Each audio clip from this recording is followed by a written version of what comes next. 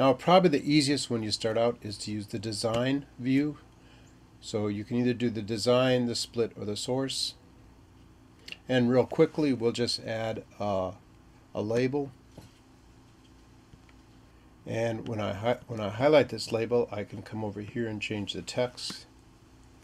And this is my property window over here on the right. So I can say hello world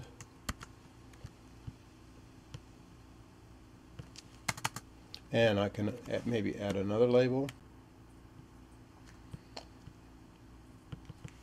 And I can say what is your name?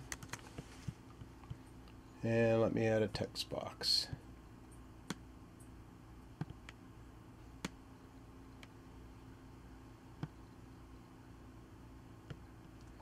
Now I want to name my text box with a prefix, so I'm going to go up to the ID and name it text name. And I'm going to put a default value in. So I go down to text, and in here I'll put Susie Microsoft. That's an interesting last name. Now you'll notice that I'm doing everything in this blue dotted line. That's our actual form. I'll show you the code in a minute.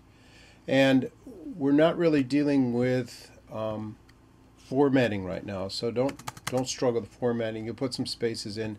If you want, we're going to add a new button, and I can go down a couple lines.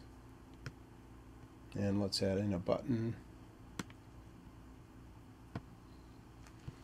And again, I can change my text.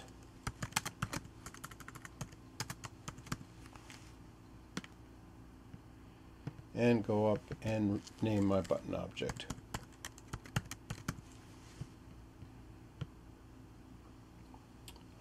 There's our form. If we go to the source, you can see what, what the program has added. Now, these are in my way right now because I want to look at all this code. So I'm going to click on this stick pin. It's going to auto hide. And if I move over to the right, whoops, if I move over to the toolbar, you can see it comes up, but I can grab those really quick. So this is kind of a nice thing to know about. But here you can see my, my label. And here's my other label. What is your name? Here's my text box that I renamed the ID. And here's my button.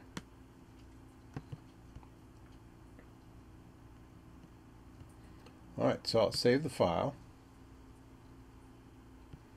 and then I'll click on this green triangle and that will run my page. This is an error that came up probably because I saved my files in the wrong place.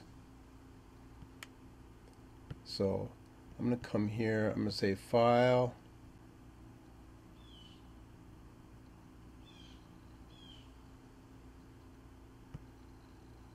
And I probably don't have rights for that. So I'm going to go back to my file system, go to my desktop,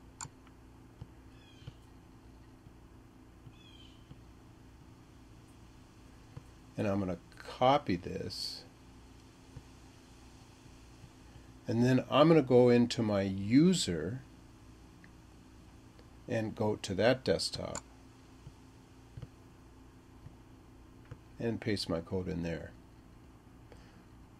Now the difference is this is my desktop on both my Mac and my VMware and I think that's causing a security issue with Windows. So instead I'm going to go into my just my VMware so this is my user and inside my user I have my own personal desktop and it should work in here. So it's all about where I have rights and access to. I wondered if that didn't wouldn't happen. So there you can see my files. Here's my index file. This is my VB code that we'll be adding later. We don't have anything right now.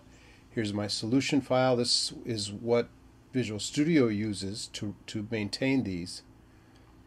And this is a web config file that'll happen, that'll get changed as I run. Alright, so let's try open this again. Say open website so I'm going to go into Peter. I'm going to my desktop. Here's my Visual Studio. And I'll say open. And here you can see my files. So I'll look at my index. There it is. And let's try running it once more.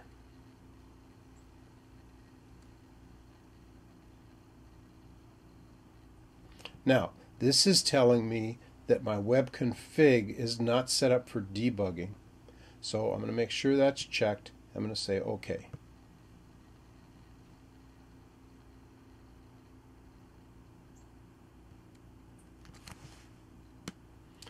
You can see that Firefox tried to run, and I believe Firefox is bumping into my Windows firewall. Uh, remember that security is job one.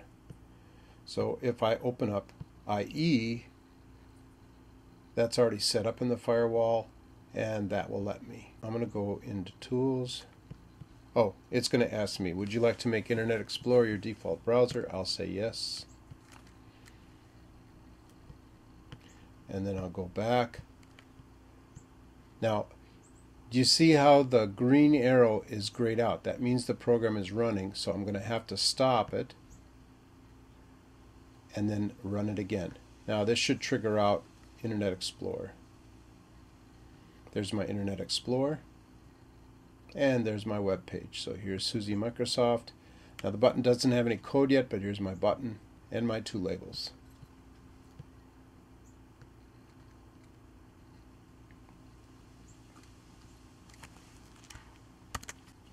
So let's take a quick look at what we've created. First of all, we have the design view. We're looking at index.aspx. Here's our design view so we can see the components. I can move my toolbar in and out.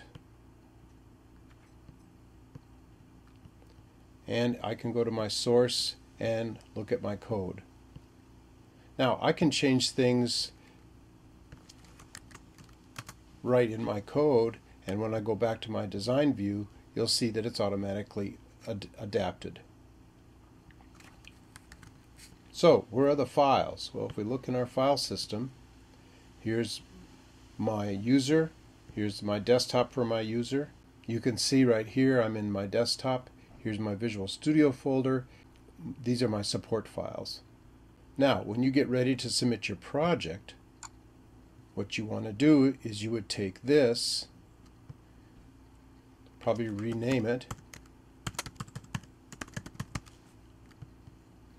and then you can zip this up. So I'm going to use right mouse click, send to, compress folder. By renaming this, here is my file. This zip file is what you want to submit to D2L.